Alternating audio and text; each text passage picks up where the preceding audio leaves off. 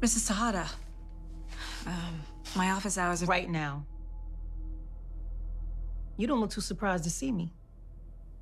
You want to talk about Zeke? It's, it's late. Not sure it's appropriate. Appropriate? Like you fucking him? I did. I, You I did. And you didn't think anyone would find out.